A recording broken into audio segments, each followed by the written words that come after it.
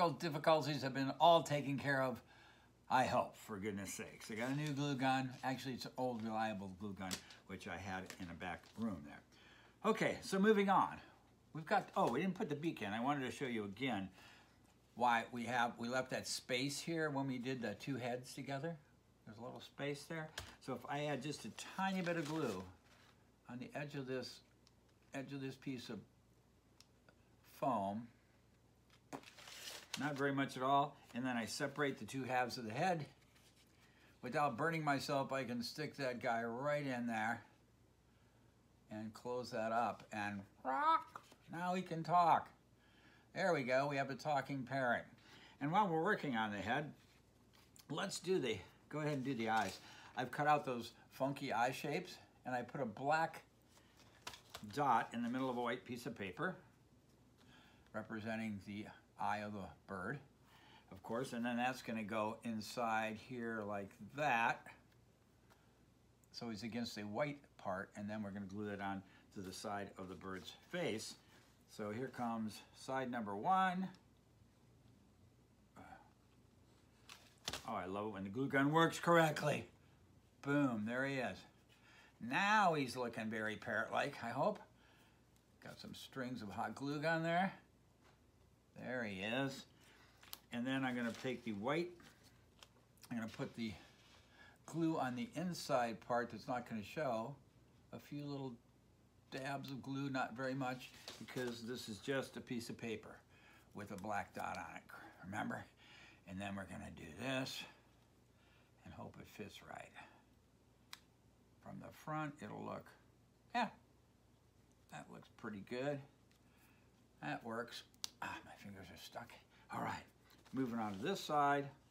Again, not much glue at all needed, just enough to hold this guy down. Going to the other side, boom. And there's his match up to two sides. I can see the eye on this side is much larger than the one on that side, but who sees it? And he's looking, he's looking down on this side, but he's looking up on this side. Okay. a little bit wanky there. Let me see if I can, ah, I'm not, I'm just gonna leave it for right now for demonstration purposes. So be careful you don't do that on your bird or it'll be looking kind of silly. All right, now, here comes an interesting part. I've taken one of the shoulder caps, which are gonna go right here. That's gonna fit right on there. And I've taken them in my hand and I've kind of bent them at an angle and very carefully, you don't have to do this part unless you're feeling very, very confident. And I'm gonna do a little clip here. Ah, hard to do, even for me. Snip, snap. Oh, and what's that giving me? Can you see it gives me? This little sort of feather-like little indentations. You don't have to do that. I'm gonna do one more on this side because it's a little confusing and probably unless you had me right in your living room doing this and showing you, you'd understand a little bit more about what this is gonna look like. Okay, so I'm taking one that already pre-did that too. Can you see those little textural things on the cap of the of the wing? And then, again, using a sparing amount of glue, not a lot, I'm gonna go on the inside edge of this, avoiding my thumb and going on this side so I don't glue my thumb. Flipping it over, and this is gonna go over the top. And it's called a wing cap because it's actually going on top of the wing, like the wing is wearing a cap. There we go, right there, the wing cap. Let that glue a little while. Take the second one on the other side, do the same thing, lightly with the glue, but enough to hold the foam down. And I almost got my thumb that time. Be careful. Flip this guy around, put him in place. And now he's got two, oops, wing caps. Oop, I angled that one a little differently. Ah. Okay, now, there we go. So, we did the beak, we did the eyes and the top of this crown thing, and we did the wing caps. And now for a little more contrast, these pieces aren't in the in the packet.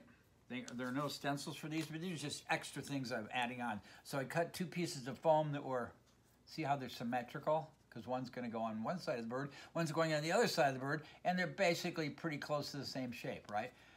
Um, they're not exact, but they're pretty close. So those are gonna go under the wing cap and stick out like that, giving the bird a little more three-dimensionality. Three-dimensionality, if that's a word.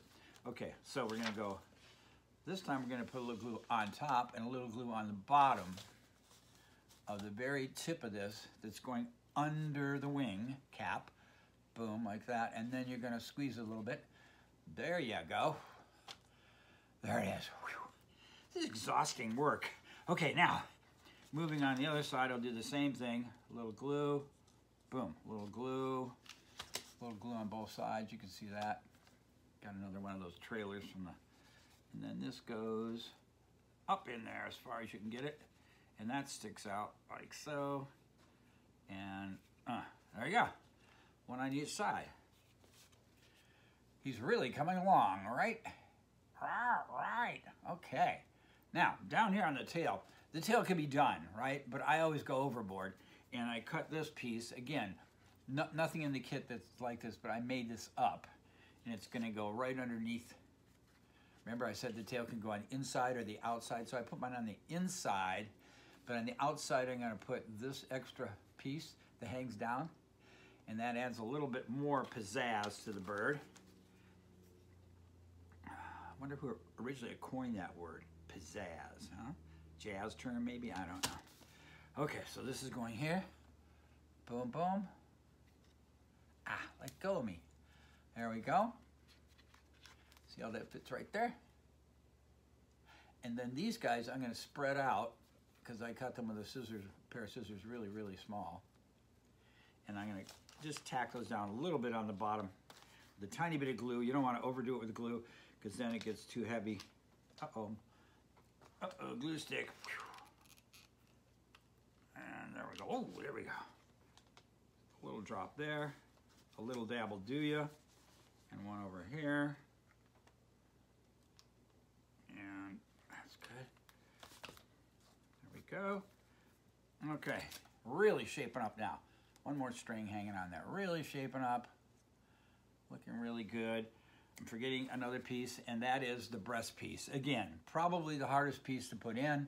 A little tricky, so here's what you gotta do first. Hold your bird in one hand, and take this V-shaped chest piece with the point up. See how it's pointing up? And bend that in half. Ugh. Okay, I got it bent in half. And that's gonna go right in here. But we're not gonna do it right now. We're just getting a feel for the size of this. One half goes on one half of the bird, one half goes on the other. Ah, again, unless I was right in the living room showing you, I'd be able to give you a better look at this, but it's gonna look something like that. So like on this guy, that's this piece. See, it's stuck up into there. And then the clothespin is gonna get glued up into there. Sometimes we don't even glue a clothespin in there. We just leave it open and then the bird can sit on a pencil or a twig or something and you don't even need the paper clip. Keep calling it paper clip. Clothesline, clothes. Hang your clothes on the clothesline. Okay, there's that guy. Hey, he took a header. Get back here. All right, get on there. Proper, be proper. Okay, good. So, gonna add this on. Fold it in half with the point up. And with my good hand, my right hand, I'm gonna add a little bit of glue on this tab. Just enough, just enough, not a lot. Again, we're just putting a little bit on each side. And then this guy's gonna go up in here. Go in there, go in there. Oh, come on, you can do it. There we go. Good enough. You have to manipulate it a bit to get it to sit in there right. Oh, I think I've got it. I think I've got it with both hands. I'm holding it tight. See, oh, there you go. You can see it. And I've got my thumbs pushing out towards the wings of the bird. And see like that. And it should be stuck about now. There we go. So he's got this breast up there high. So you can see I can perch on my finger or anything else. But to finish this guy off, I also have the clothes pin that came in with the kit, clothespin. For those of you who have never hung anything out to dry on a line, this is a clothespin, right? Mini, mini, like a mini clip. And it's gonna go up inside here if you want it to. Like the guy on my shoulder here, take him off. See, there's his clip right inside. So I glued him right in there so he can be clipped onto anything. Um, so we're just gonna do this. Last thing is to run some glue along the top edge of this. Sometimes you'll get a wooden one of these in the kit, sometimes it'll be plastic. This one's plastic. Depends on what I have available. And then that goes up inside here, off to the side. I hold it a long time with my thumb and my fingers until it's stuck really well. That did it, boom. And then he can clip onto anything. My finger, ah, it's a little tight. There we go. Or perch on a branch or gather up some material and perch on your shoulder. Okay, so that's basically how you put this bird together without burning yourself with a hot glue gun. So be really careful again, kids. Get an adult to help you, and you'll be proud to own your own perching parrot once you get my kit. So, getting my kit, you can email me, damonsart at gmail.com. Damonsart, oh, forgot the three. Damonsart3 at gmail.com. Damonsart3 at gmail.com. For the regular size bird, which is the small one I just did, it'll run you about uh, $9.95. That's got the foam, the patterns, the clip, everything you need except scissors and a hot glue gun and your your creative wisdom. And then you can get a large one like the macaw one that I had on my uh, that I had in the background, $14.95 for that bad boy. And if you've got it, both of them, you want to get a combo pack, it's $20, $22. So um, I handle the shipping and the handling and stuff. So you just pay the price you see on the screen. DamonsArt3 at gmail.com. And designate or just tell me which one you want. And uh, how are you going to pay me? Hopefully, uh, somebody you know can Venmo me the money at Damon Reinagle, and I'll get it that way. Um, if you want to snail mail me, um, if you if you uh, send me an email and you want my regular mail, I can send you that, and then you can send me a check. I'm okay with checks.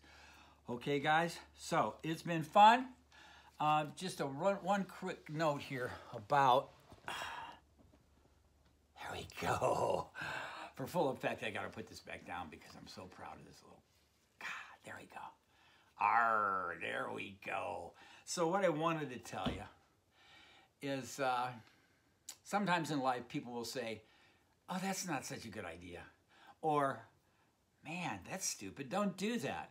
Or, oh, you think you have a good idea? Eh, I have a better idea. So you always get these negative naysayers coming into your life trying to put you down. Don't listen to them. Do what you want to do.